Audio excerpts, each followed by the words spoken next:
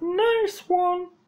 Hi, ich bin Hannah und ich drehe heute meinen eigenen Trickfilm. Ist das nicht eigentlich voll kompliziert? Ach naja, kompliziert, ein bisschen vielleicht. Du brauchst halt ruhige Hände und vor allen Dingen Geduld, denn einen Trickfilm zu machen bedeutet viele, viele, viele, viele Fotos hintereinander zu machen und das dauert einfach. Dafür ist am Ende cool, wenn es funktioniert und super aussieht. Yeah, und ich bin die Regisseurin. Klappe die erste. Fast alles, was ihr braucht, ist wieder in der Box. Lüsterklemmen, Draht, eine Zange und Kabelschuhe. Das sind diese kleinen roten Dinger hier.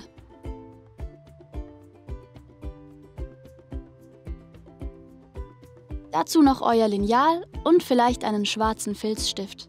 Daraus bauen wir zuerst unsere Trickfilmfigur.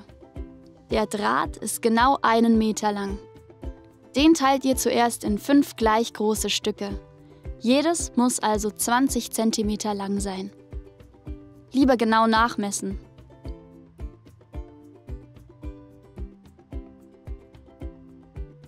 Die Zange hat an der Seite eine Klinge, damit könnt ihr den Draht durchschneiden. Ist manchmal ein bisschen schwierig, aber es hilft, die Zange so hin und her zu bewegen und dann zu schneiden.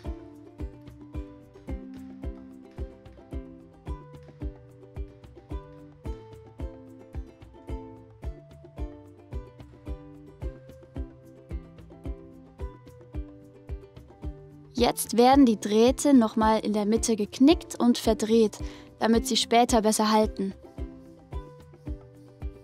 Ich habe hier so eine Schlaufe um die Zange gemacht, dann geht es ganz einfach.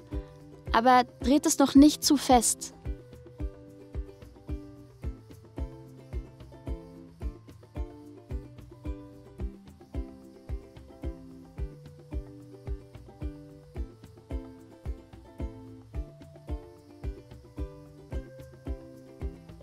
Die Enden könnt ihr nochmal abschneiden, damit alles gleich lang ist.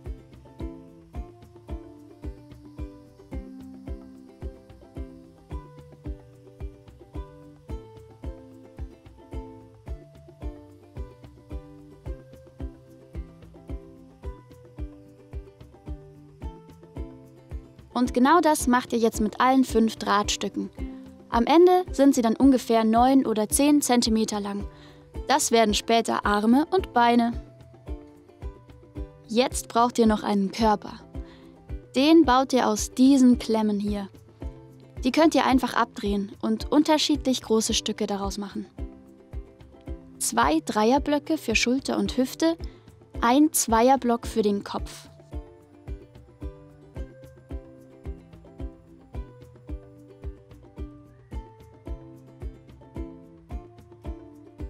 So, und wie passt das jetzt alles zusammen? Ganz einfach. In den Klemmen sind kleine Schrauben. Die könnt ihr aufdrehen und dann ein Drahtstück in die Öffnung schieben.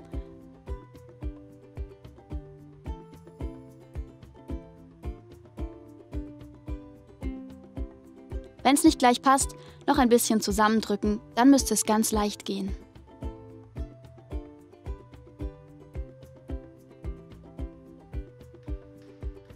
Genau so. Möglichst weit reinstecken und dann die Schraube wieder festdrehen. Wenn sich der Draht nicht mehr rausziehen lässt, habt ihr alles richtig gemacht.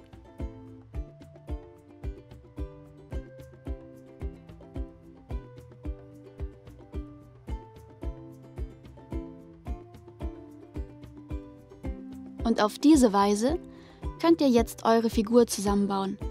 Wie das aussieht, ist ja klar. Kopf, Hals, Schultern, Bauch und Hüfte in einer Reihe und dann noch die Arme und Beine dazu.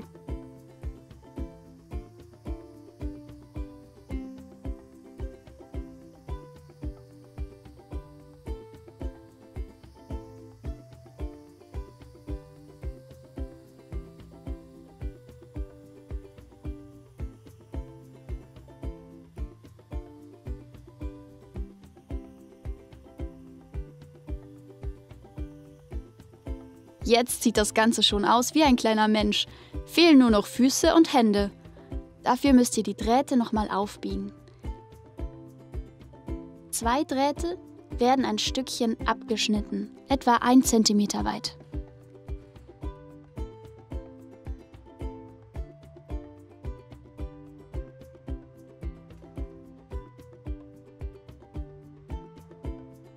Dann wieder gut zusammendrehen. Dafür könnt ihr auch gerne nochmal die Zange benutzen.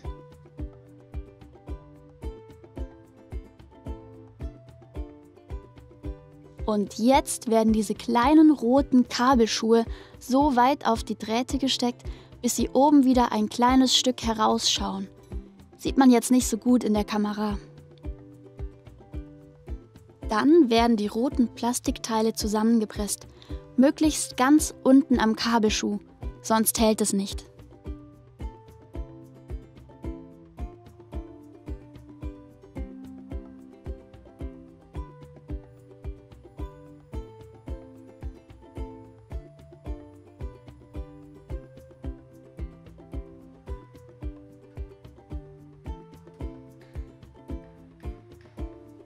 Das Ganze wiederholt ihr an dem anderen Arm und an beiden Beinen.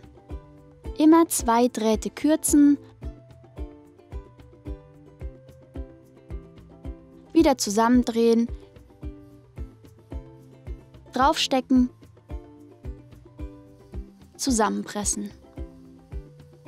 Wenn ihr wollt, könnt ihr das auch einmal vorher probieren. Wir haben euch einen Ersatzkabelschuh in die Box gelegt.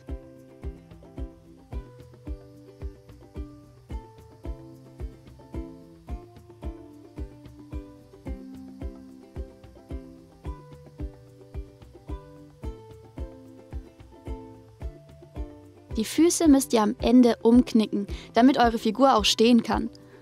Das könnt ihr mit der Zange machen oder vorsichtig mit den Fingern.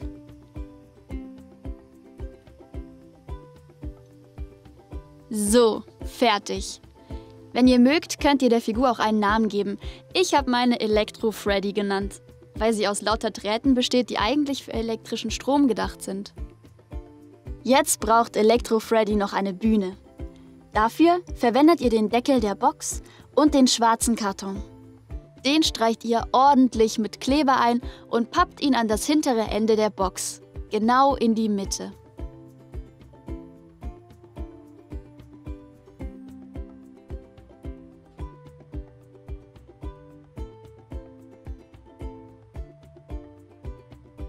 Und damit die Bühne auch eine Rückwand hat, gibt es noch dieses größere Stück Pappe.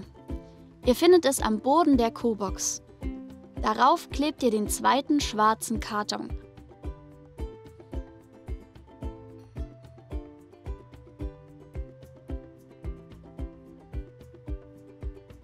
Auch an eine Seite und genau in die Mitte.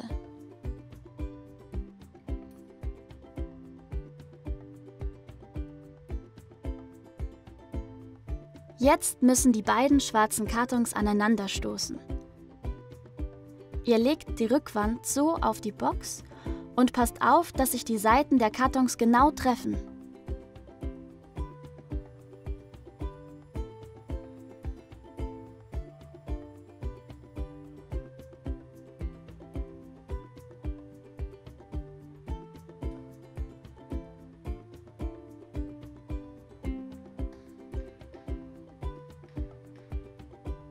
Ihr könnt noch einmal nachmessen.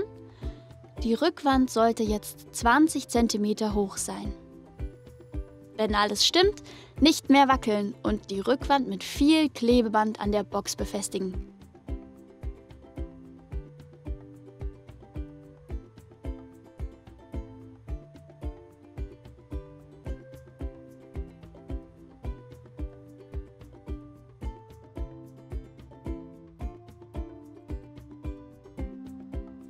Damit ist die Bühne fertig. Aus der kleineren Pappe baut ihr jetzt noch ein Stativ, damit die Kamera später bei der Aufnahme nicht wackelt. Zuerst müsst ihr die Pappe in der Mitte falten. Dafür macht ihr bei genau 14 cm kleine Markierungen –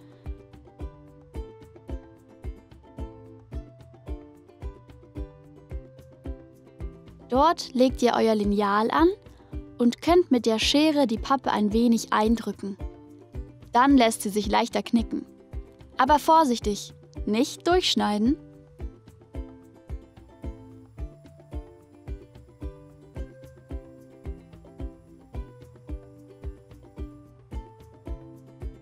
Damit euer Handy jetzt darauf hält, müssen da noch kleine Schlitze rein. Probiert die richtige Position mit eurem eigenen Handy, zeichnet kleine Markierungen und schneidet dann dort direkt in die Pappe.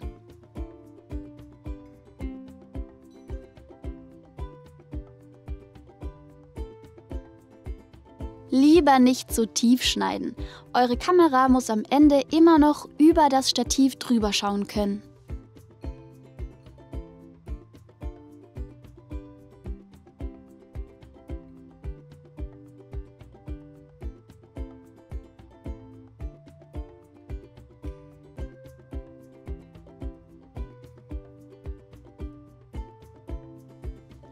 Bei mir hat's gleich beim ersten Mal funktioniert.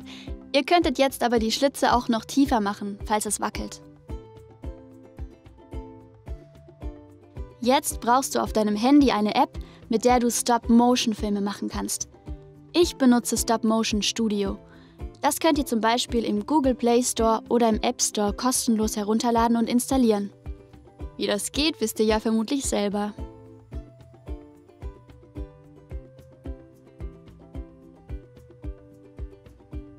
Nach dem Installieren öffnet ihr die App, wählt Neuer Film und erlaubt, dass die App eure Kamera benutzen darf. Unter Einstellungen wählt ihr jetzt aus, wie schnell euer Film abgespielt wird. Am besten stellt ihr die Zahl 12 ein. Unter Filmformat stellt ihr ein, dass der Film ein Quadrat werden soll, ähnlich wie die Bilder bei Instagram. Wenn alles vorbereitet ist, könnt ihr das Handy aufs Stativ stellen richtet die Kamera so aus, dass ihr nur den schwarzen Karton filmt und nichts von der braunen Box zu sehen ist. So sieht das schon gut aus.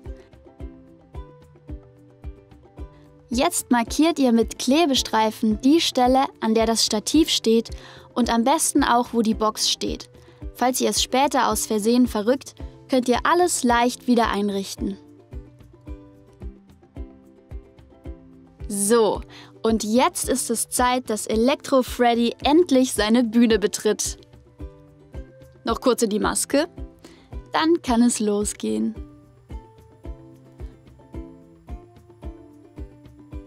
Achtet darauf, dass eure Figur von Kopf bis Fuß gut zu sehen ist. Und damit Freddy nicht umkippt, schraube ich die Füße direkt am Karton fest.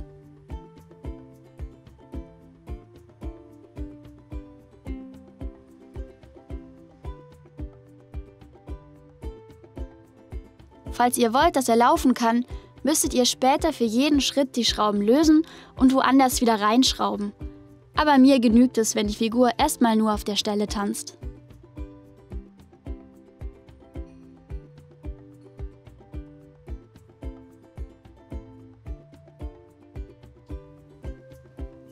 Wenn ihr jetzt auf den Bildschirm genau auf die Figur tippt, stellt die Kamera richtig scharf. Dann drückt ihr auf das Fotosymbol und ab jetzt geht's los. Bei einem Stop-Motion-Film macht ihr immer nur ein Bild, möglichst ohne zu wackeln.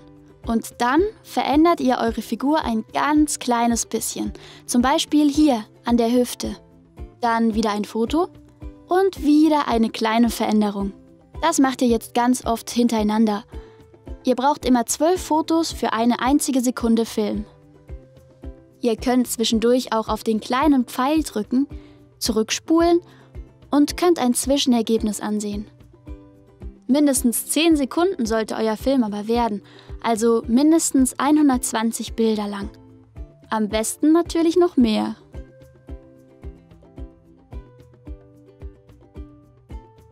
Wenn ihr damit fertig seid, drückt auf den Pfeil oben links.